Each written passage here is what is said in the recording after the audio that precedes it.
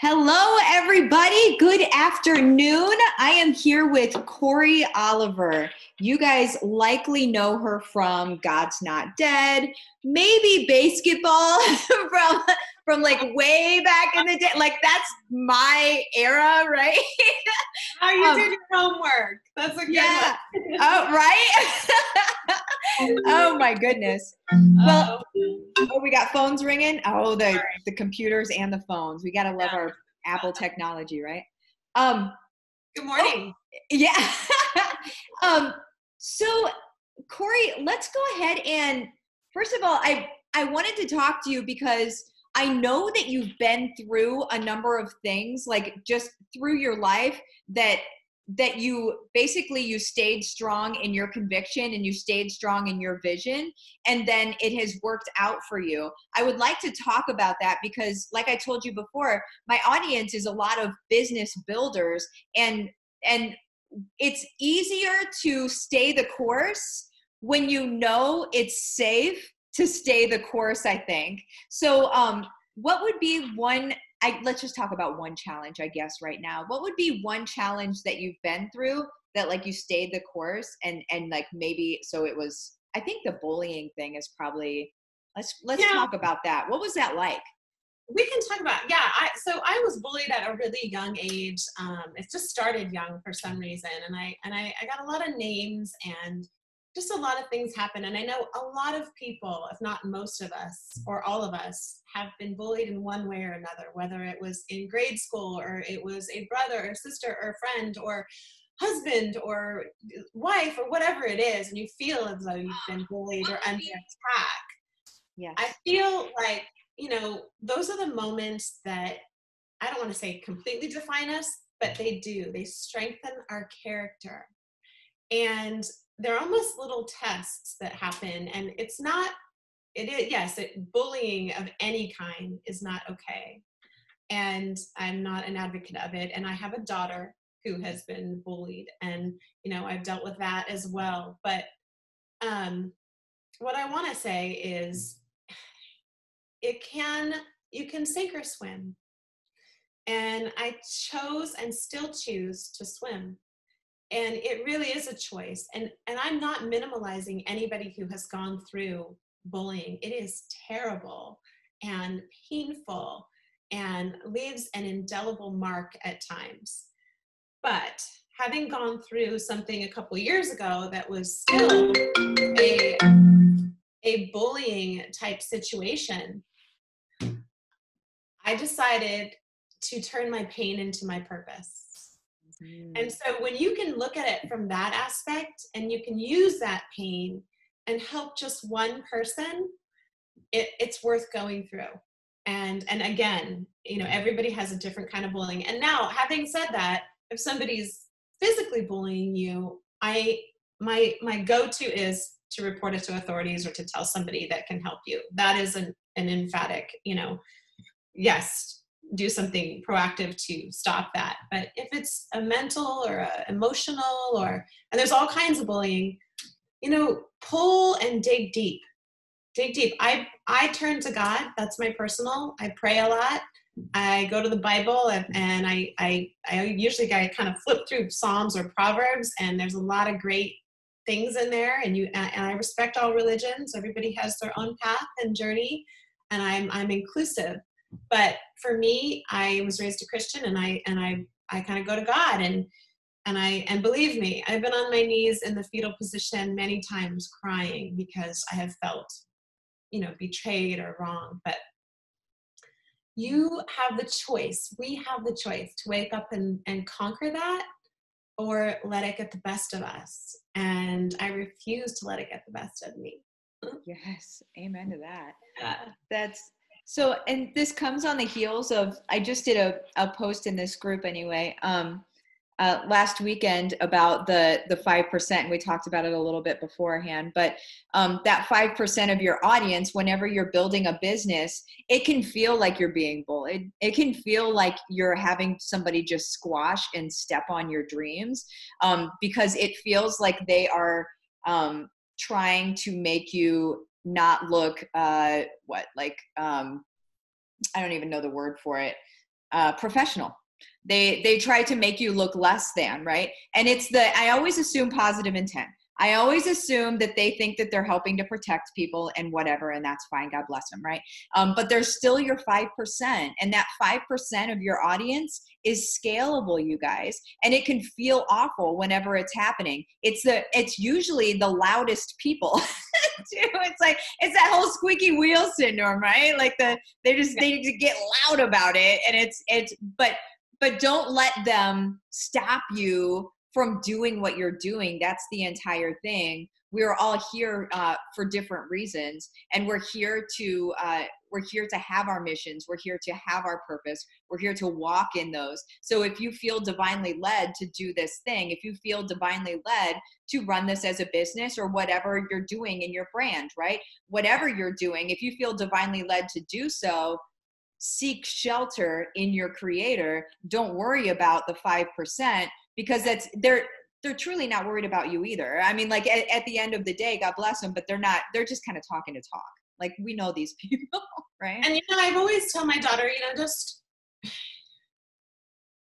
it's it, it don't surround yourself with negativity choose to be positive. and there's enough negativity in the world and just don't if you don't entertain it and you don't get in the ring if you will then mm-hmm. you don't get punched out and you know I always say, you know, love your enemies. Just love them. Wish them well, bless them, and don't engage in the negative um, aspect of anything. Really, it's it's just choose to stay focused. You really have to stay focused. There will be things that that kind of try to, you know, bring you down. And in fact, I took 13 years off of acting to raise my daughter, and this is kind of a perfect example. And and I enjoyed every minute of it. I would not change anything because she's the love of my life and I we had the greatest experience. Having said that, when I went back to go into acting, a friend of mine um, told me that her husband had said that you're too old to play a leading lady. And that crushed me. And I actually entertained that thought for, you know, a few days. And I, I I went to God and I was praying and I was like, is this true? Like, really? I, t- I took 13 years off, but how, how can that be possible? We can do all things through Christ who gives us strength. That's my mantra. And three days later, I got a call to play opposite Kevin Sorbo, a leading role in God's Not Dead. And so never let anyone tell you how your path and journey is going to go. It's yours. It's yours really? and nobody else can can design or or um, control what god has for you. So mm. yeah it was good. I was like wait when he shows up he shows up. I know.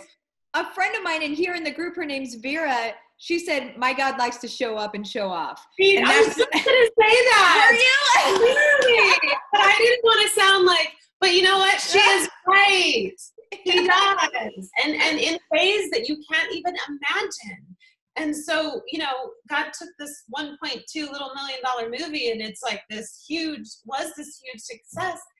And and here i was thinking that i i couldn't even play a leading role because one person said that. Man. so, you know lady gaga she says it best And you could be sitting in a room with with you know a lot of people 20 people and all it takes is one person to believe in you. And i keep saying this if you can't find that one person in the room, then let it be yourself. Mm. Yeah. Yes. You're just like you're just my eyes are like we're gonna do this pretty soon. oh man, this is fantastic. Well, what um so I know that you oh man, there are so many sentences that want to come out of my face right now. Um I I know that you had well let's talk about conscious language and how you use your language because i know that you made a promise was it to your grandfather um, about uh, uh, about following your dreams and chasing your dreams. Um, it was something is that okay and then like and so is that what got you into really pursuing hollywood or pursuing you know uh, making like making different productions? Um, what's what i'll just stop talking I love you. You're amazing, and and you, you really did your research. I gotta say, but um, yeah, I think you know, all my life I was always singing in a hairbrush or or in a school play, or I just you know I was teased a lot, which was kind of interesting because I I really couldn't look anyone in the face, but I had this internal need to perform and be you know an entertainer, and I I took I took care took care of my until he passed away and I was 22 and then I I just you know wanted to pursue and follow my dreams. So I moved to Los Angeles and what everything that could go wrong did go wrong. But I was like you know this sounds silly but the joy of the Lord is my strength. And truly is. Like it just sometimes it would just come down to that. That's all I had. But it got me through and um, I did. I made a promise to him and to myself that I would continue to pursue what was in my heart. And so, you know, I could go through that whole story, and a lot of stuff did happen, and um, and that tried to stop me from pursuing, but I just kept, you know, staying focused. And then after I had, you know, raised my daughter, I was in the kitchen and I was praying, and I was literally crying out, and I was like, Lord, I don't know what to do. What do I do? If you don't want me to do this, please take this desire from my heart. It says in the Bible, delight yourself in the Lord, and he will give you the desires of your heart. And I was like, if this is not your desire, God, give me a different desire. I'll do whatever you want. And then shortly after, I'd gotten Beverly Hills Pawn, which is a, a show on on the Reelz Network, and then I got God's Not Dead, and things just kind of kept going. And you know, we all go through valleys and peaks and valleys, and it really is, um, you know, it's where we get, it's where we get refined, and it's where our relationship grows with God, divine, whatever you want to call it. It's where we understand more of who we are and who He wants us to be. And some of those moments are really painful but if you can press in and stay strong and believe in yourself and believe in Him and ask Him, says, ask and you shall receive. Be specific in your requests. Really, really press in and ask Him. He'll reveal to you the path He wants you to go down. And and it doesn't always look like the one you have in your head. in fact, mine doesn't look like it at all. But I feel like it's been a blessing and I've been able to persevere in many ways. And it's been a great journey. And I'm excited to see what else he has. Yeah. Oh yeah. Gosh, I love all of that. I love all of that. um, oh, is, oh, never mind. I'm sorry. I you could hear myself for a second and then I'm like, ah, don't worry about it. So, um, I, okay. First of all, you said we were talking earlier and you have Young Living stuff in your house, right? You say you use. I do. I, do. I have a couple friends that actually um, are distributors of Young Living, and I'm a huge essential oil fan. I have um, lemon oil, peppermint, lavender, and um, lemon, peppermint, and lavender. Those three by my bedside, and I found that concoction in this little store in uh, in Hawaii. They were they had those three together, and then I got the Young Living ones, and um, they're very concentrated. That's why I like your company. I we didn't even plan on talking about this. I didn't even know that that was a part of this, and so. But I'm letting you know that I I do support Young Living and I love their products. Um, they have they actually have a, a what is it called? It's a is it Cool Azul or yeah? Um, we have Panaway. I think Cool Azul is the is the pain cream. Yes, the pain cream. And yes, yeah, yeah. I have it all. I love it. I love yeah. all of them. Um, oh man, they're. We talked about this too. God grew everything for a reason, and everything is from the earth. And so, for me, you know, I've created a balm, a lip balm line, and for me, uh, having natural ingredients in that has been been the number one reason to do it. I mean, our skin, as everybody knows, is the largest organ. It absorbs everything. If you can put a nicotine patch on and stop smoking, it's absorbing that stuff, right? Or if you can put a body cream on, it's you're absorbing it. So it's so important to to know what you're putting in your body and on your body. Um, and so I, I do believe in all natural stuff. Yeah, Sometimes you know, hard, you know, but yeah, and it's I've never actually I've been in this this industry for a bit and I've never heard like the nicotine patch thing because we always talk about the skin being the the largest organ in our body but I never I never equated it to yeah you receive medicine through patches like that's you receive chemicals. or whatever it is but you could put a little oil on and and your body's absorbing it all of it so it's yeah. important Yeah. Awesome. Well, let's talk about your let's talk about the um the lip line that you have or the lip balm line. So I yes, I created it. It's I have it right here. I'll show you. It's um it's five ingredients. Uh maybe we should actually do a little little uh a little business with Young Living and, and use your peppermint oil. Um because it's really it's a jumbo tube and it's this is the the original one just basically five ingredients it's beeswax coconut oil vitamin e I, I went back to basics and I used castor oil um, for many reasons. It's a thick emollient. It's very hydrating and it's it's sticky. So it it's the, the lip balm itself isn't sticky, but it really pulls in everything, all of the components that are in it. I created it in my kitchen actually, and I went through many many different oils. Um, and we came up with this uh, proprietary blend. I do have a lab in in uh, Van Nuys, so they're wonderful. And then I also have a pink shimmer, which is the one I have on. You can see. Ooh. It has a lot of um, it has a lot of sparkle. I love sparkle. But this you can put on your cheeks, on your lips. Um, this you can put anywhere. It's really an inclusive. I have people uh, that say, "Oh, I use it on my split ends or um, on my cuticles." Oh, or that's a good just idea. an all-inclusive balm. We decided to do a 50.50 ounce. It's one of those products that you could take on a plane and it could substitute for four or five different products. It's they're not going to throw it away because of the size, and um, and you can do a lot with it. Again, it's it's a multi-purpose balm, and it comes in this little box with the polka dots, and it has this little thing that says "You are the balm." So it's Oh. a good little. I know it's fun. I really have enjoyed it, and we're working on a lot of new products. I work with my business partner and my best friend of 40 years.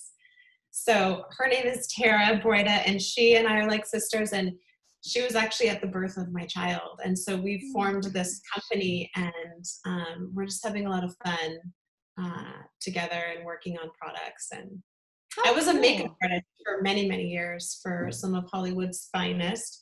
And a lot of companies have asked me to do, you know, product development or products or um, applicators. And so I thought, why not just kind of start my own company and and help people? You know, that's really what it's about. What Young Living does. They're really big on helping people. So That's yeah, it's we'll like a have to get your one. peppermint oil in our our product. Well, I'm just right? saying you you do know somebody now. So I mean, I guess you knew you knew people before. So so you just talk to talk to those folks. I got a number Yeah. for corporate if you need. Yeah, I'd love to. Heck yeah. Awesome. Well, um, you guys, I believe that I don't want to keep you all day. I love what you've been talking about, though. I believe that it's empowering people everywhere um, just to recognize that these things happen to everybody. Like whenever we talk about the 5% or we talk about bullying, um, it in some capacity, I'm not saying that it happens in the same way to everybody. I wouldn't, that, I of course wouldn't say that, but it does happen to everybody so whenever it happens to you lean on the person that that lean on like for it for you guys in this group we lean on each other right? Um we we stand each other up and we show each other like we've you know we've got this regardless. Be sure that you have that person that you can lean on. Lean on your creator lean on your people around you um to to help get you through. Go ahead. And iron sharpens iron. So, you know, I, I've been uh, fortunate to be involved in a, an organization called Moms in Prayer. And for 12 years, I did it at my daughter's school. Fern Nichols started the organization. It was a group of women that um, got together weekly at the school or at another location and prayed over their kids. It was a form format, and it was a great corporate anointing. And it's so important to stick together and lift each other up and you know those moments when someone's we all go through it whether it's our marriage or our kids or you know there's a lot that we go through as women and men um, but stick together, stay together, find your core group, encourage one another, be positive and supportive, and because there's strength in numbers, and that's when that your group will rise. Is when you all, you know, we rise by lifting others, Mm, right? all of these goosebumps. They're like the biggest goosebumps I've ever seen. I am loving this. I know that you have like for the balm, where what is the website again? And you guys, like I know that we're all young living people and we do young living product and stuff like that. Let's also remember to support other people in our community that we're also like it's not we're let's let's also support each other, right? What was the website for that again? It's Beverly Hills Balm, B A L M. Um, so beverlyhillsbalm.com. And I think they have a promo going if, uh, for you specifically called Gold. If you type in Gold Getters, you'll get two for one, I believe.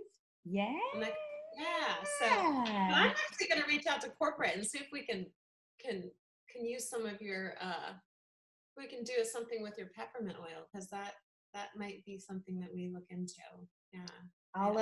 uh I'll I'll have my guy reach out to your folks um after the video. Yeah. No, I really believe in your product. I use them all the time and I have them.